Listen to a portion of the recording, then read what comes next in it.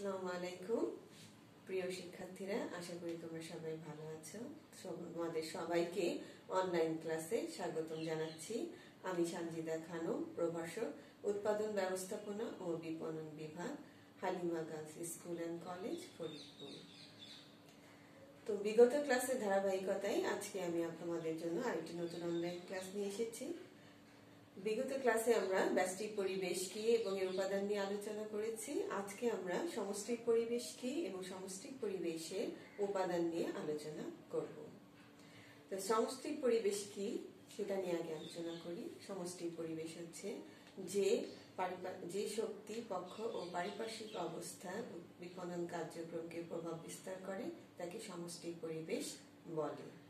সমষ্টি পরিবেশের এই উপাদানগুলো বিপণন কার্যবলীকে পরোক্ষভাবে প্রভাব বিস্তার করে থাকে। তাই একজন বিপণনকারীকে সমষ্টি পরিবেশ উপাদান বিবেচনা করে তার বিপণন কার্যক্রম পরিচালনা করতে হবে। এরপর হচ্ছে সমষ্টি পরিবেশের উপাদান।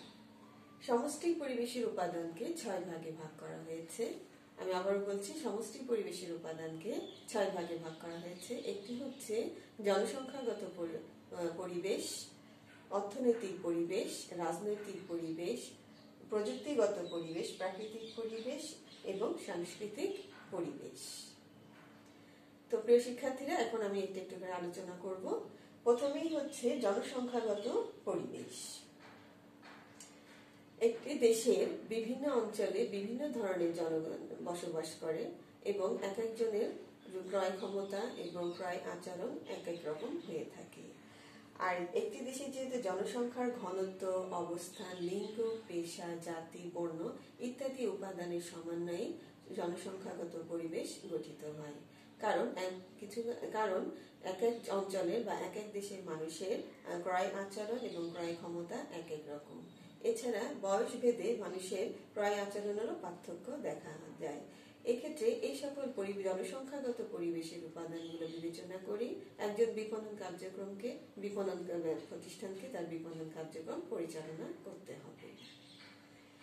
এরপরে হচ্ছে অর্থনৈতিক পরিবেশ। মোট জাতীয় উৎপাদন, সুদের হার, ঋণের ঋণের সহজলভ্যতা, শেয়ার বাজার, উৎপাদনশীলতা ইত্যাদি বিষয় নিয়ে সাধারণত অর্থনৈতিক পরিবেশ গঠিত। অর্থনৈতিক পরিবেশ যত অনুকূলে থাকবে, বিপণন কার্যক্রম তত বেশি কার্যকর হবে। কারণ, একটি দেশে শুধু জনগণ থাকলেই হবে না, সেই জনগণের ক্রয় ক্ষমতা থাকতে হবে এবং সেই অর্থ ব্যয় করার ইচ্ছাও জনগণের থাকতে হবে। এরপরে হচ্ছে প্রাকৃতিক পরিবেশ। প্রাকৃতিক পরিবেশ বিপণন কার্যক্রমের একটি বা সমষ্টি উপাদানের সমষ্টি পরিবেশ উপাদানের মধ্যে একটি গুরুত্বপূর্ণ উপাদান। সাধারণত ভূপ্রকৃতি, জলবায়ু বনজ সম্পদ, খনিজ সম্পদ নদ নদী, পাহাড়, পর্বত ইত্যাদি উপাদানের সমানে প্রাকৃতিক পরিবেশ গঠিত হয়ে থাকে। এই সকল উপাদান কখনো কখনো প্রতিষ্ঠানের জন্য সুযোগ নিয়ে আসে আবার কখনো হুমকিও নিয়ে আসতে পারে। একজন বিপণনকারীকে এই অপ্রাকৃতিক পরিবেশের সুযোগগুলো কাজে লাগিয়ে এবং হুমকিগুলো মোকাবেলা করে তার বিপণন কার্যক্রম পরিচালনা করতে হবে। এরপরে হচ্ছে প্রযুক্তিগত পরিবেশ। প্রযুক্তিগত পরিবেশও সমষ্টিক পরিবেশের একটি গুরুত্বপূর্ণ উপাদান। প্রযুক্তি একদিকে যেমন সুযোগ আনে, আবার হুমকিও নিয়ে আসে। তবে প্রযুক্তির কারণেই মানুষ বিভিন্ন রকম পণ্যদ্রব্য ব্যবহারের সুযোগ, পণ্য বা সেবা ব্যবহারের সুযোগ পাচ্ছে এবং সুবিধাও নিয়ে যাচ্ছে। কারণ আজকে প্রযুক্তির কারণেই আমরা এই যে অনলাইনে ক্লাস নিতে পারছি, মোবাইল ব্যবহার করতে পারছি, কম্পিউটার ব্যবহার করতে পারছি। প্রযুক্তিগত পরিবেশ যদি আজ উন্নত না হতো, তাহলে এই সকল সেবা আমরা কখনোই ব্যবহার করতে পারতাম না বা ভোগ করতে পারতাম না।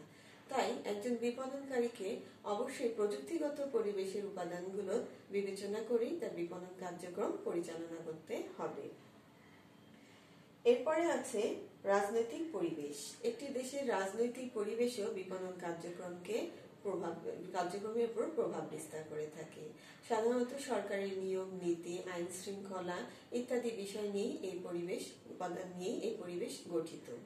এই উপাদানগুলো যদি সরকারি নিয়ম নীতি, আইন শৃঙ্খলা যদি কোনো দেশের সুগঠিত থাকে, তাহলে সেই দেশে বিপণন কার্যক্রম পরিচালনা অত্যন্ত সহজ হয়। এরপরে হচ্ছে সাংস্কৃতিক পরিবেশ। বিশ্বায়নের এই যুগে এক এক দেশের মানুষের, আগেই বলেছি যে বিশ্বায়নের এই যুগে এক এক দেশের মানুষের এক এক ক্রয় ক্ষমতা, আচার, আচরণ, ধর্মীয় বিশ্বাস, মূল্যবোধ এক এক রকম হয়ে থাকে। আর এই ধরনের ভোক্তার এইসব আচার আচরণ, মূল্যবোধ ধর্মীয় বিশেষ, এগুলোকে বিবেচনা করে বিপণন কার্যক্রম পরিচালনা করতে হবে।